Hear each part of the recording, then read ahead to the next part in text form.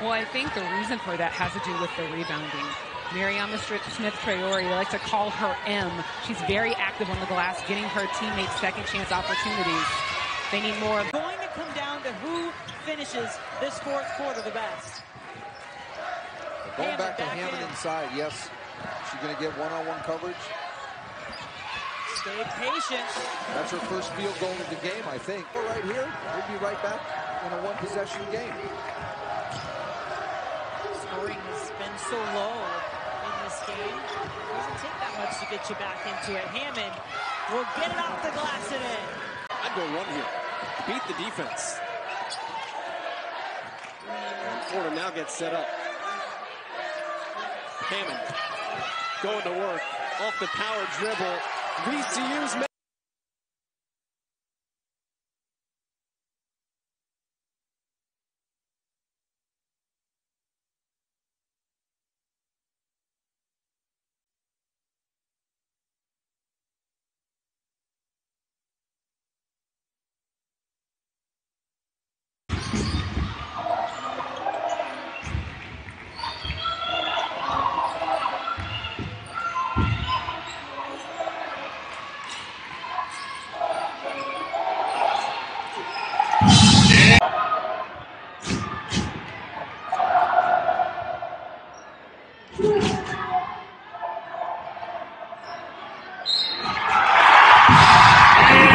against this very good Dayton defense.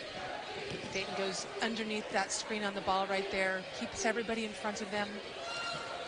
Well, they go inside to Hammond, and that's her second field goal down low. The statement they're making today is, you know, we're in this to go undefeated, and we're in this to win it. Inbound pass to Hammond. That couldn't have from the floor, and two of ten for the game. So the Spiders trying to take advantage with a team in a big drought like that. Underneath, Hammond regains a pass that had been knocked away momentarily.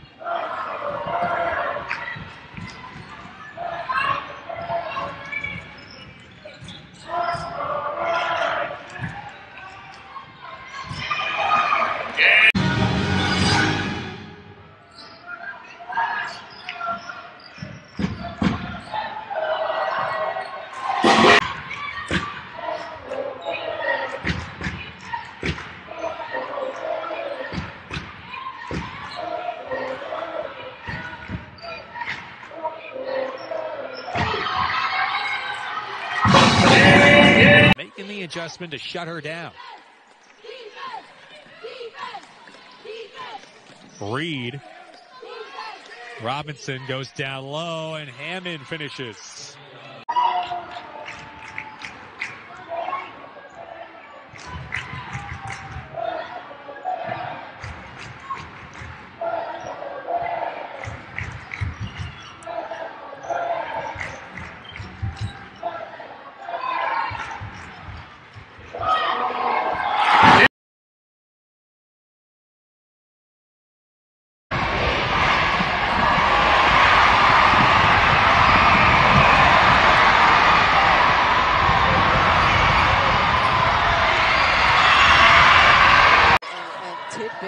Offensive rebound. Downey missed the putback. Good stand by VCU, and the tempo is picked up. Reed gave up a three. Williams into Hammond. Underneath mismatch. She's able to work against.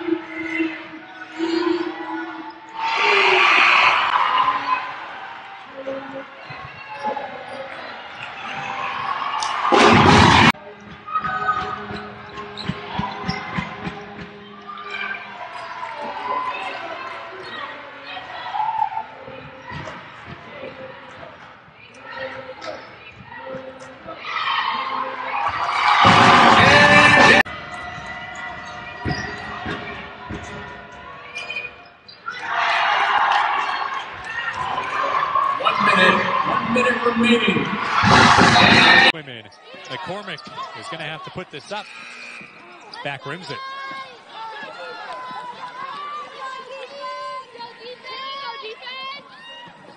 Two and a half into this fourth quarter. Hammond left wide open down low.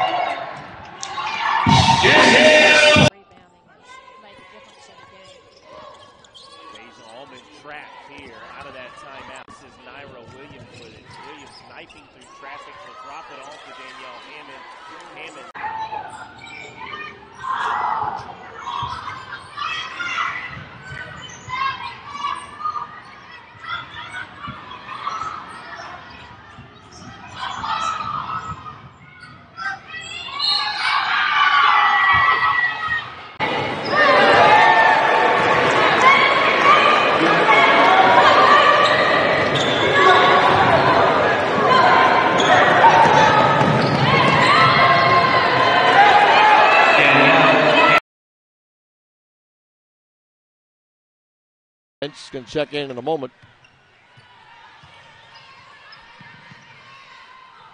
Tassin on the wing.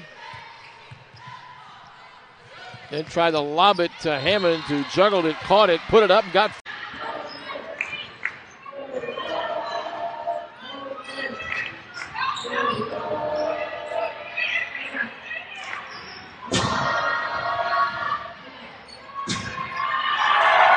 CBS Sports Network.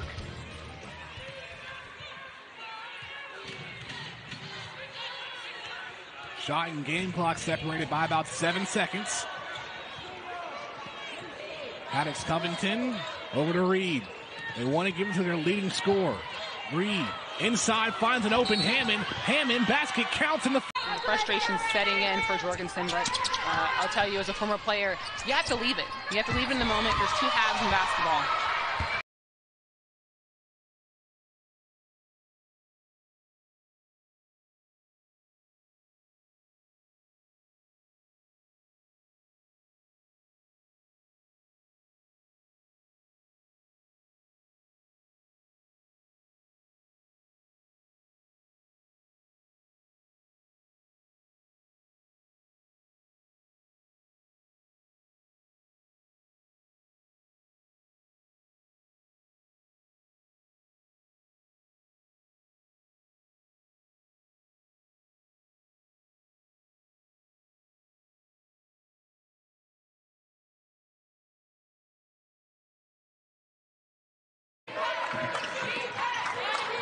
VCU with the inbound, right back into Hammond, fighting through Caitlin Downey, got it back.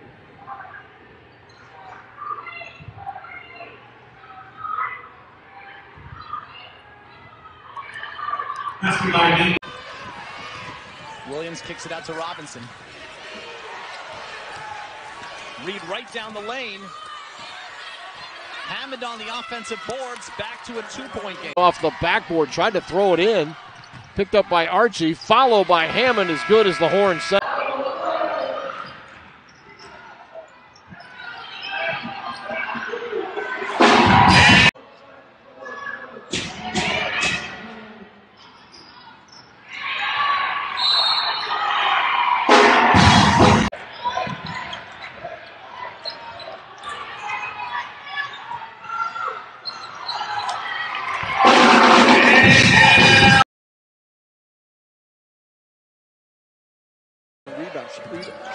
Almost five rebounds a game. The token pressure. And that's in the lead here in the second half.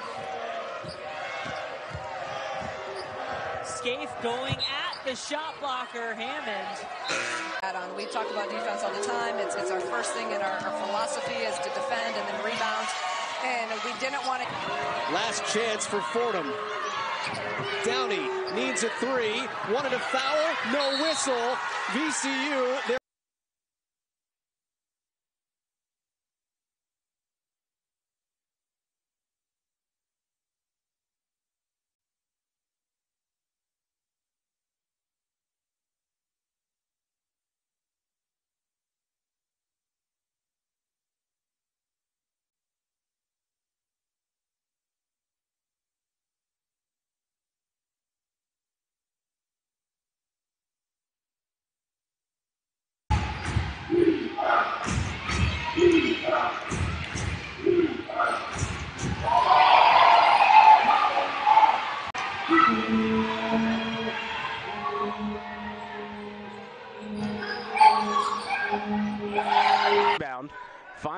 Six seconds remaining in the quarter.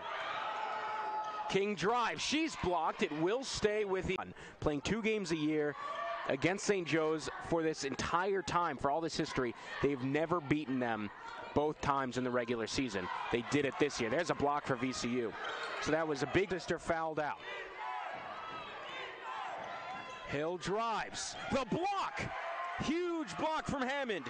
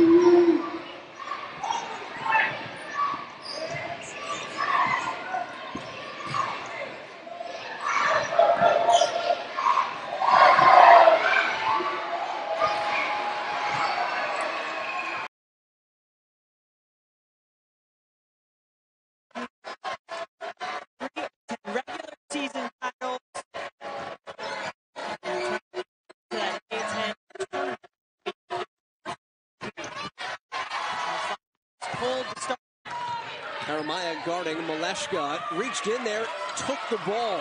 That's a literal steal. Terrific. Nice play by Jeremiah. If she's not scoring, she's doing stuff like that. Chance to score off the pass from Bree Cavanaugh. Jeremiah just needs to slow the game down a little. Stephanie Gaitley said she's playing a little bit fast lately. Cavanaugh in out from the elbow. Player But coming into this game, VCU is one of the top defensive teams. See, here's the full court pressure, but it's it's just token pressure. It's, this is where you gotta break it and be patient. Now there's still a quarter left. We've got 11 and a half minutes. And it's only a 12 point game. Cavanaugh, smooth sailing to the bucket. Missed it strong, rebounded by Hammond.